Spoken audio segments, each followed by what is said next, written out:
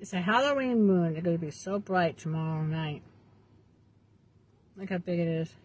Okay, there's a call coming. I just, I just want to film a little bit. Okay, bye.